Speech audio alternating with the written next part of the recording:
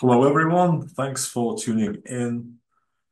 Uh, this is another U.K. Quantum Fluids Network webinar, and today's speaker is Marco La Mantia from Prague, and he's going to talk about visualization of flow in superfluid helium-4.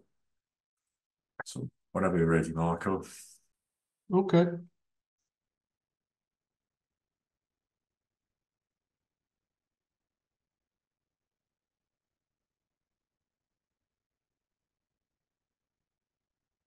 Hello, everyone. So today I will talk a bit about flow visualization in superfluid helium-4.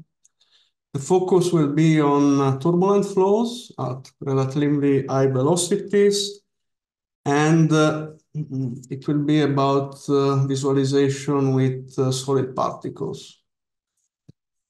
So as Dim already said, I work in Prague, in Czech Republic, and I uh, study mostly the flows of superfluid helium. So the first thing I can show you is the phase diagram of this uh, unique uh, fluid. So here you can notice that the temperature are rather low, very close to the absolute zero. And maybe it's important to note that experiments are mostly performed along the saturated vapor curve, this one. And here, uh, at this point, there is a transition, second-order phase transition to the superfluid states, where uh, some unusual properties are observed. And uh, here I'm just going to briefly-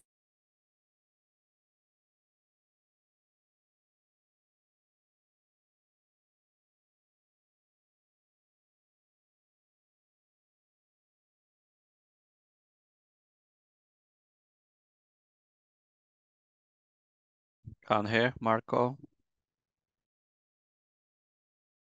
Hello, Marco. I think uh, you broke up. To be more precise, of the flows of superfluid helium, is that uh, um, the Fourier law is actually not true for this kind of flows, and this indicates indeed that this fluid has unique thermal uh, transport properties.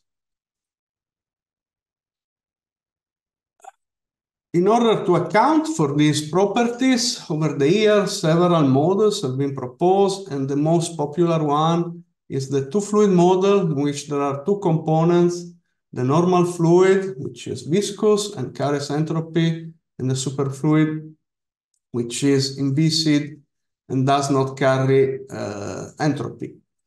And uh, here I wrote models because indeed there are various ways how these two components uh, are coupled. So uh, the main idea is that there are two components that interact somehow, but the interaction depends on the, let's say, on the type of flow.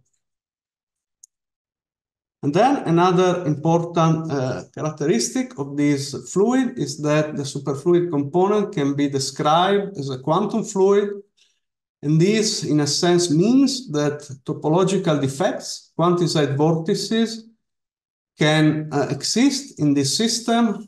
These uh, objects have a very small uh, vortex core size of the order of an angstrom, but they can be very long, of the size of the same size of the container where they are, where experiments are carried out.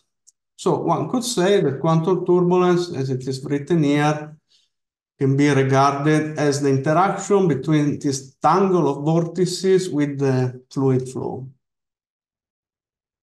So there are various type of flows that can exist in this system, and here uh, I list just the, say, most important one, not really most important, but two of them. There is counterflow, which is thermally driven, and which somehow takes into account the exceptional heat transport properties of the fluid, where the two components flows in opposite direction.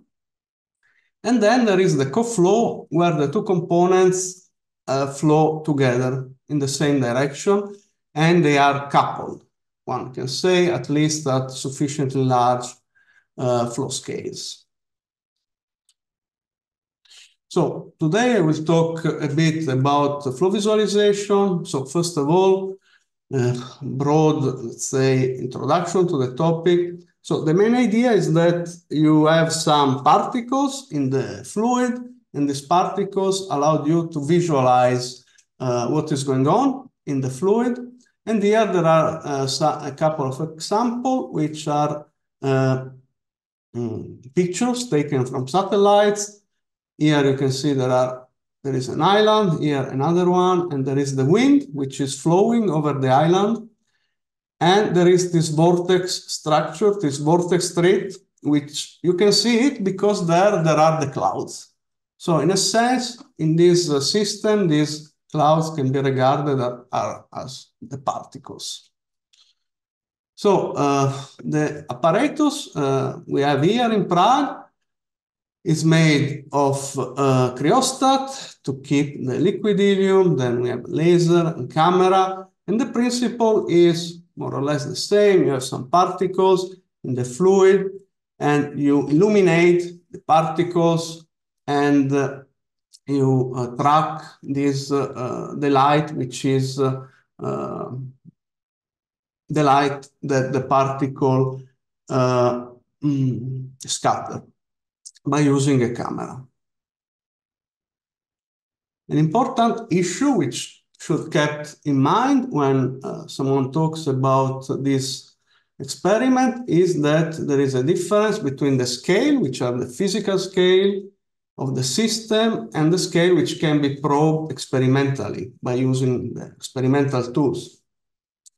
So, as I mentioned earlier, the, there is the size of the quantized vortex core, which is of the order of angstrom, and then there is the mean distance between the quantized vortices in the system, which can be loosely related to the Kolmogorov scale of classical uh, turbulent flows.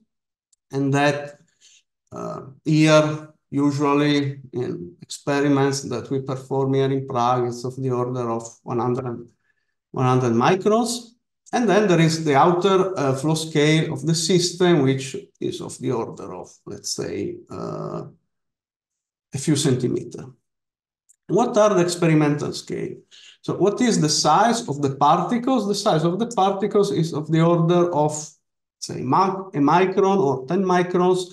And this is the smallest scale that can be assessed. But in general, the scale is, is larger because uh, also take into account the uh, distance which the particle travels between frames. So let's say this particle size is really the minimum, but depending of the, on the camera features and on the flow features, usually the experimental scale which can be probed is uh, larger than the size of the particles. And somehow uh, this scale can be tuned for example, by reducing the frame rate of the camera.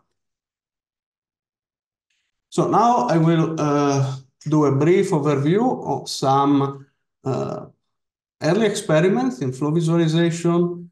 So uh, the first experiment I know about was made actually in Canada in 57.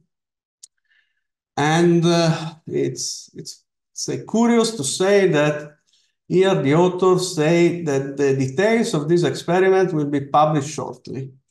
But, I mean, couldn't find it actually, so it's a very short paper, so somehow they just report that these particles have been generated in the liquid, but that was it.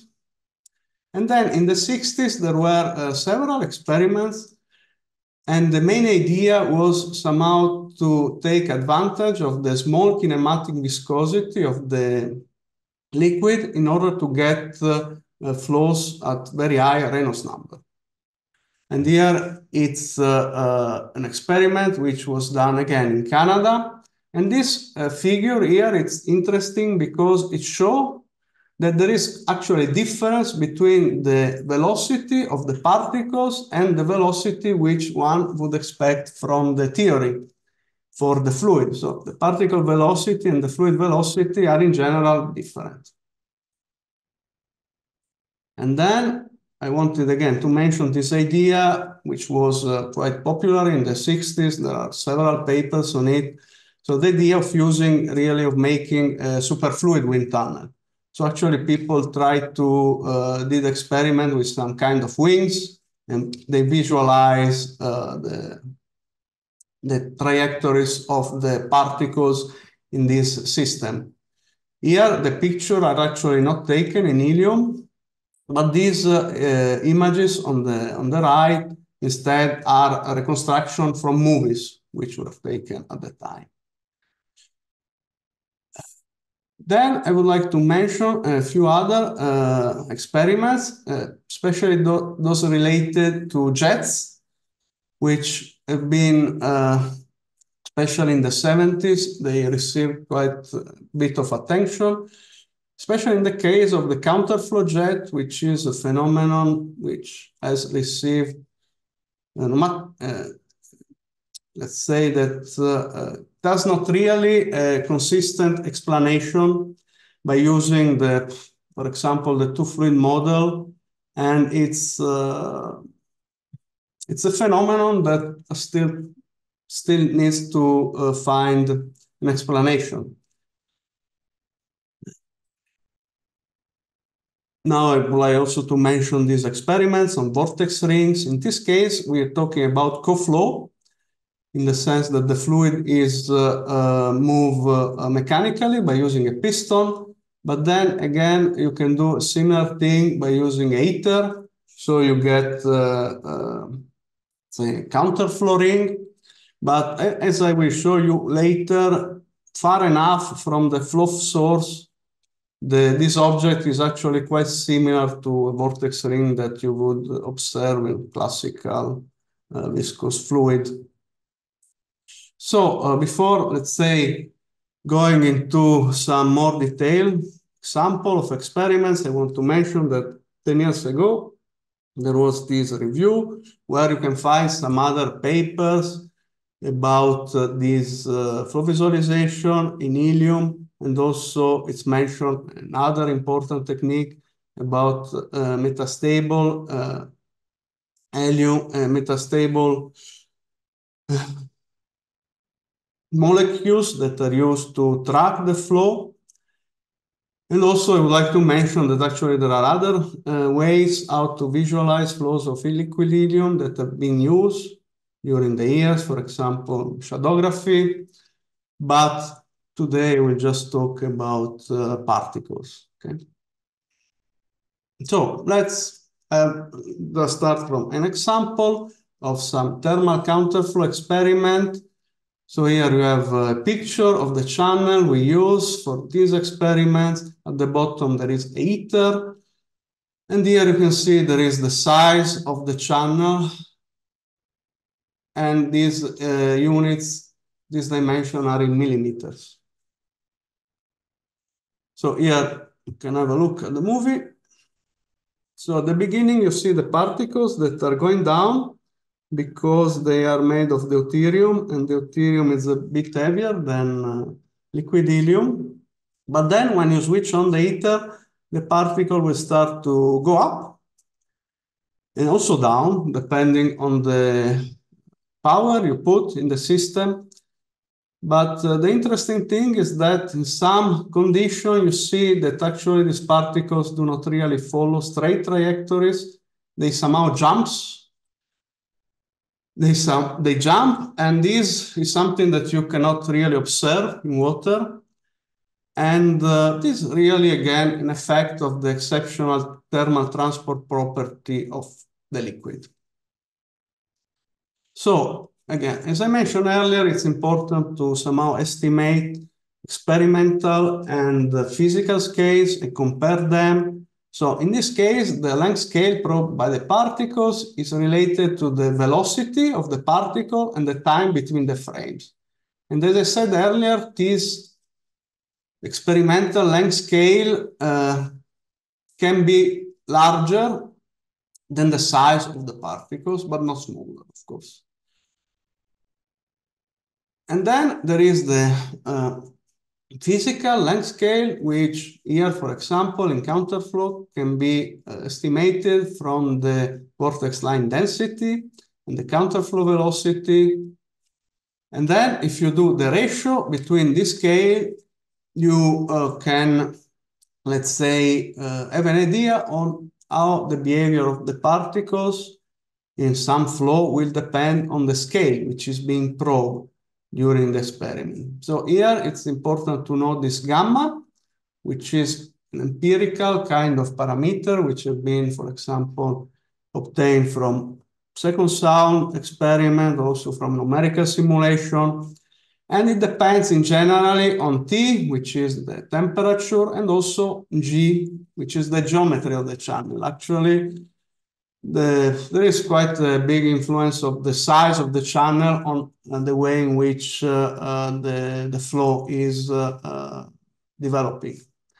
But in the experiment I discussed today, want to mention that this R, this ratio between the scales, is uh, across one, at least uh, two order of magnitude. So we can see what is happening at scales smaller than the intervortex distance and also scales larger than it. So here we have uh, the probability uh, distribution of the particle velocities at scales which are larger than the uh, scales in which this radius is this sorry, this uh, length scale ratio is larger than one, which essentially means a scale larger than the mean distance between the vortices. And we can see that the distribution is close to the Gaussian, as it is usually observed in classical uh, flows. But then if you decrease uh, the scale, you get these very uh, heavy tails, which uh, have been uh, observed in many different uh, type of flows of superfluid helium and here you can see direct comparison between the Gaussian and the uh, tails.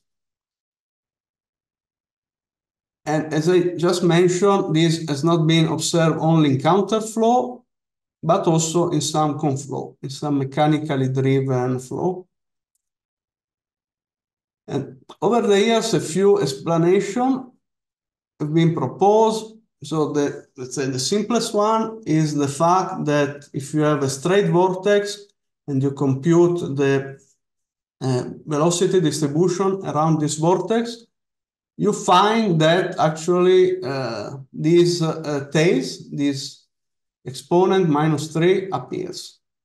However, I mean, this explanation, of course, is consistent with experimental data, but does not take into account the fact that uh, the particles, as I said earlier, have in general a velocity which can be different from the velocity of the fluid. So in order to take this somehow into account, later it was uh, proposed another explanation which is based on the occurrence of vortex reconnection. And here you can see a movie taken from this uh, paper. And you can see that there are these vortex reconnection occurring, these um, events. And uh, uh, it's possible to uh, estimate that the probability of uh, statistical probability of the uh, particle velocity in the presence of this reconnection event is uh, consistent with the experimental data. So you can observe again this power law dependence. So the idea is that the particles interact with the vortices. The problem, however, in this explanation is that the particles are big. As I said earlier, they are about, uh, let's say, one micron in size, but the vortex size is one angstrom. So right now, this explanation about the vortex reconnection is let's say the uh, the one that is more uh, probable, but still it's not clear how it's possible that such, how such a big object can, can somehow be influenced by an object which is much smaller. So nevertheless, this uh, property can be used uh, uh, to get an estimate of the uh, mean distance between the vortices in condition when you uh, don't know it.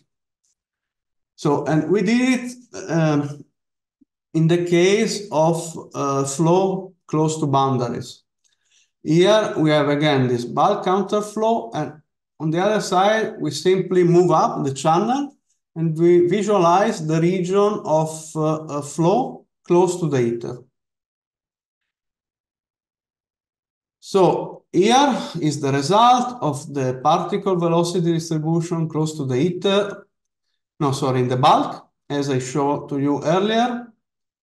And again, you see that this ratio is smaller than one. So we are probing scale smaller than the intervortex distance. And then if you do the same, but with particles which are close to the heater, you get something similar.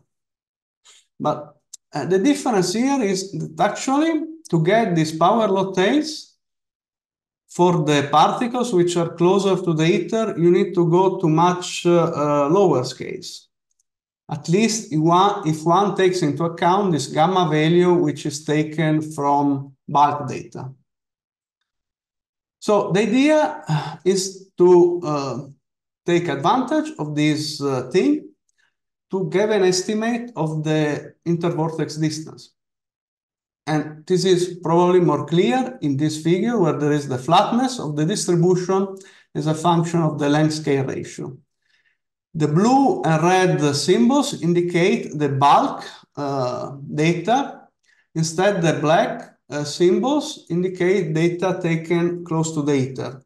And as you can see here, this data close to the heater become close uh, to 3, which is the value of flatness associated to the Gaussian distribution for uh, length scales, which are actually smaller than. So the explanation uh, we give uh, here is that actually close to the uh, heater, there are about uh, 10 times more vortices than in the bulk. So uh, now I give you a short summary about these power law tails. So the main point here is that if you probe scales smaller than the intervortex distance, than the flow characteristic scale, you get something that you don't usually you don't get in Newtonian uh, fluids. And then also, important thing that has been, say, proved experimentally is that quantized vortices concentrate in regions of low fluid velocity that is in the proximity of the boundaries. And then, as I told you already, this uh, fact that the uh, particle velocity distribution shape depends on the scale can be used to estimate the uh, mean distance between the vortices in condition where this gamma parameter is not already known. So now I will talk you about another result, which is related to the previous one. Again, is something which is has been probed across scales, so a scale smaller and larger than the mean distance between the vortices. And this related to what is usually called uh, flight crash events. In a sense, in classical turbulence, uh, a particle tend to gain energy less quickly than uh, it loses it. So this is so the as you can see here in this graph, the buildup of the energy at a certain rate, but then when the particle decelerates, really it's occurring a much shorter time.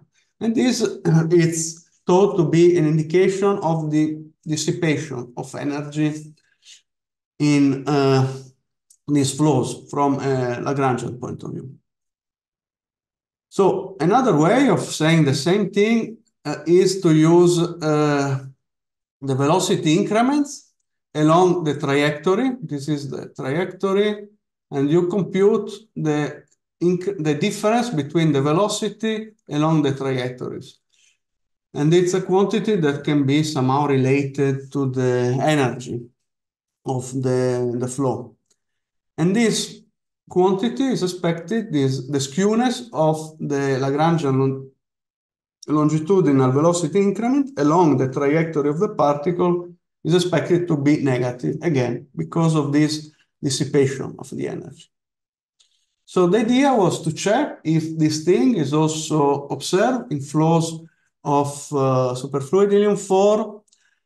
And here it's uh, the main result. These magenta points are classical data obtained from numerical simulation. This open point here, uh, these circles are co-flow data. Instead, these points here are counterflow data. So from this, we can say essentially two things, that if we focus on the co-flow data and we plot in a suitable way the results, we see that the scaling is the same as it was observed in uh, classical data at sufficiently large flow scales.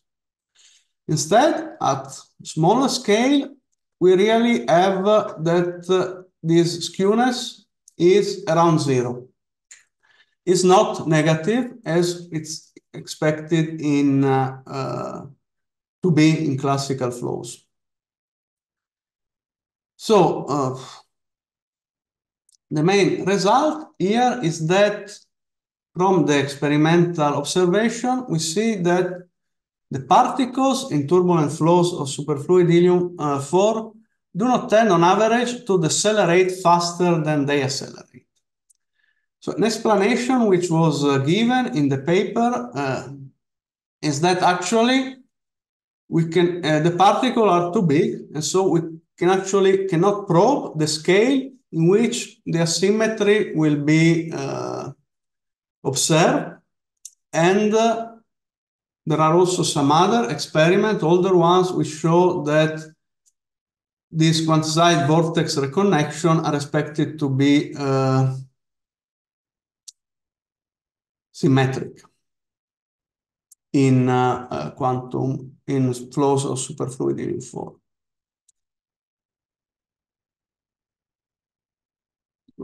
So now, uh, finally, I will talk about, as I mentioned earlier, some experiments we did on vortex rings.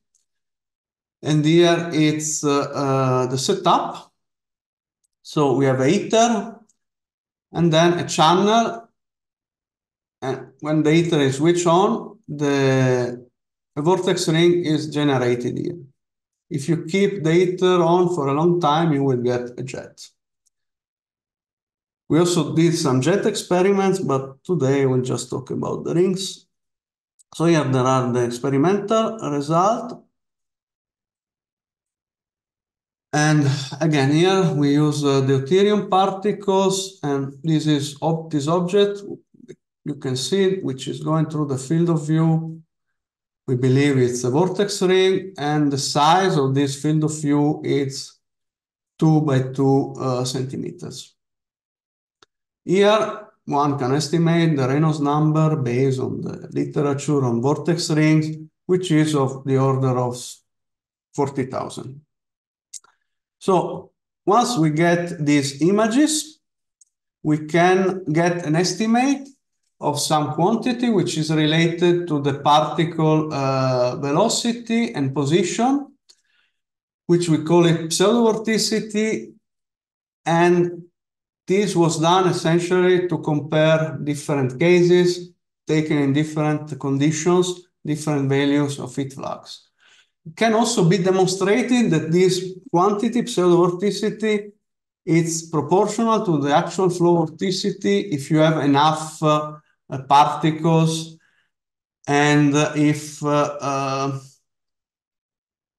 movies are collected at high frame rates, which is generally not the case for this kind of experiments. But anyway, this is a kind of uh, scalar uh, quantity which give you an estimate of the strength of this vortical structure. So here you see uh, on this picture, there is actually, uh, there are trajectories of the particles shown in the reference system of the uh, moving vortex ring. And here you get this pseudo vorticity estimate.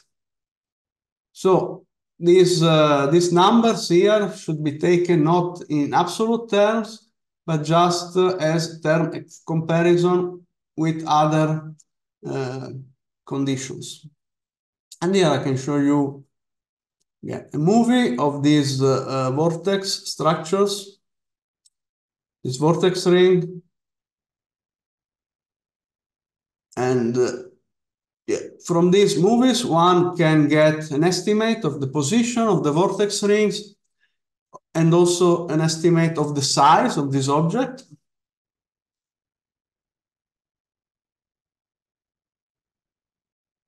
So essentially what we did is to, was to make a comparison with uh, classical theory describing the uh, propagation of vortex ring. And uh, in this theory, you can get some similarity constant, which is related to the velocity of the ring, to uh, the position of the ring, and to the size of the ring. And this and the ratio between this constant is expected to be universal, not to depend on the specific flow realization. So uh, what we found is essentially here, we found that this pseudo-vorticity can be uh, quite faithfully uh, track the position of the object. Here there is the, uh, the magenta line indicates the theoretical prediction and these red dots are the experimental data. Instead, this technique is not really able to get uh, proper size of the object because essentially there are not enough uh, uh, particles because these are Lagrangian measurements. So uh, here now short summary about these uh, vortex ring results. And these experiments were done at scales larger than the mean distance between the vortices. And uh, as I said, this Lagrangian pseudo-vorticity can be used to get an estimate of the strength of this object in the absence of Eulerian data. And actually, we also perform numerical simulation, and this was confirmed by a numerical simulation. And also we uh, did some second sound experiments in order to measure the, the strength of this object.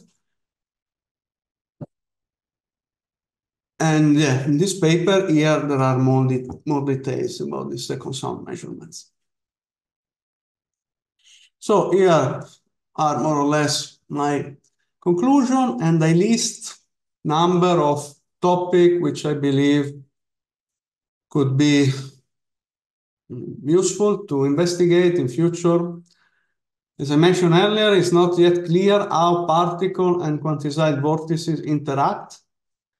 And then also the behavior of the fluid close to the boundaries is not well understood. The mechanism of energy dissipation and transport uh, still uh, are not uh, well described in the sense that from the experimental data, one can get some fits that allow to build machines which exploit these properties, but on the other hand, these are fits. So, uh, and uh, another an open question also, in my opinion, is why actually there are similarities with classical flows. I mean, we are talking about uh, quantum fluid, which should be different, should be should show properties which are not related to classical viscous fluids. So why these similarities are, are observed? Also, this is something that could be investigated, at least in my opinion. So thank you very much for your attention.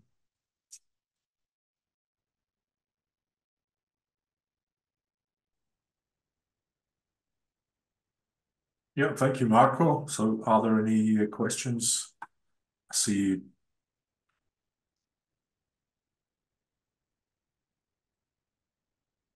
So either raise a hand or just unmute yourself and ask a question.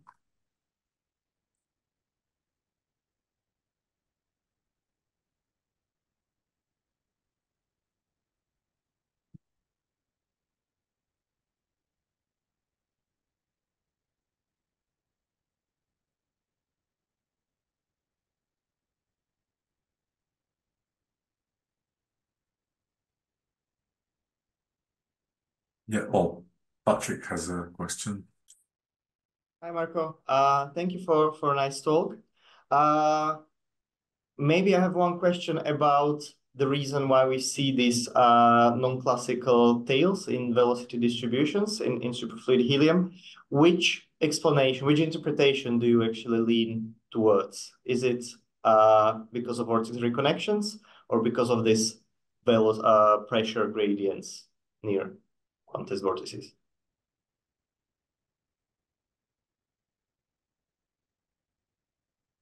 I believe that it's, uh, I mean, particles are influenced by the pressure field. So they are attracted to the vortices and these vortices reconnect. So I believe uh, that uh, the influence I mean, these tails are there also because uh, particles are uh, influenced by the vortices, but they don't need to be trapped to show these uh, uh tails. I think, yeah, we published a paper on it with Mathieu, where we propose, I mean, we show that these tails are also there uh, in case the particles are not really trapped into the vortices. Yeah. Are there any other questions?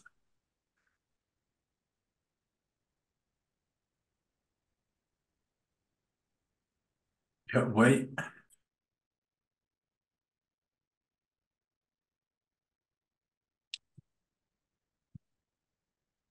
Um, Hi, Michael. Uh, very nice talk. I have a question regarding the uh, analysis of the flight crash event. You mentioned that um, the reconnection results in symmetric uh, behavior of the velocity, so that probably leads to some difference from the classical scaling. But your data seems to suggest that in co-flow, uh, the scaling looks similar to that in classical fluids. Only in counterflow, the, the, the behavior is different. Can you comment on that? Because uh, my I would imagine uh, vortex reconnection should occur in both type of flows, right? Yes, so the co-flow data actually were obtained only at uh, scales larger than the intervortex distance. But we can see that while the scale is decreasing, uh, actually the behavior becomes a bit different from the classical behavior. And the symmetry of vortex reconnection, which is something that has been observed also by the group of uh, Dan Lathrop several years ago. And this is an observation that was made at scales at uh, a scales comparable to the particle size. So one expects that the asymmetry of the reconnection would be apparent at smaller scales. So data in co-flow uh, right now, I don't have really a lot of data at small scales. So, yeah. Well, I, I would imagine even for the reconnection, uh, the velocity behavior should be different because there's always a dissipation associated with with reconnection, right? So as the particle move together and um, move apart from each other, uh, even the prefactor of the time scaling uh, could appear to be different. Yeah, but this was not observed experimentally. The experimental data on Lathrop's show that it's similar. Then there are numerical data that show that it's different, but they are a scale smaller than the particle size. So the symmetry is there, and it makes sense from a theoretical point of view, but cannot be probed by using the particles, I believe. Okay, thank you. Well, I'll ask a question. Um, so in the Lathrop's uh, videos, you can see that well, there's obviously quite a few particles sitting on the one vortex. Well, in the videos that you've shown, so it's it's not so obvious that uh, well uh, that there are uh, the particles are along some vortex line. So is there any uh, difference in the visualization technique, or is there any experimental trick? The, the difference is in the flow type. So in the case of Lathrop, actually, there was not any flow. So there were just the particles and they took movies for very long time and they found a few reconnection. And uh, in the case of the experiment I show, there is a flow, there is some strong flow. And we actually also depend on the scale which is being probed, which could be larger than the mean distance between the vortices. So yeah, the main difference is the, the flow type. You can observe quantized uh, vortex reconnection. We also observe them here in Prague, but we didn't focus on their study. Okay, yeah, understood. Uh, thanks. If uh, there are no questions, and uh, well, thank you, Marco, again for Thank you. giving this webinar. And uh, the next webinar is, I think, in uh, two weeks' time, 9th of April. And uh, I'm hoping to see you then. So, see you later. Thanks everyone for joining the webinar as well.